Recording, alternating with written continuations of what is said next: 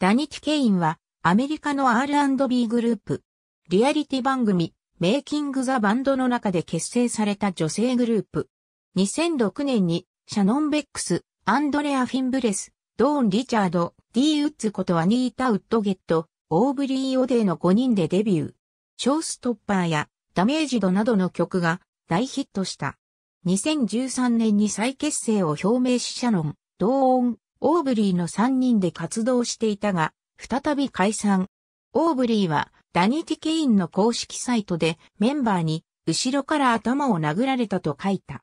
スーパー R&B ガールズグループイコールダニティケイン5年振りの新作タワーレコード2018年3月22日閲覧。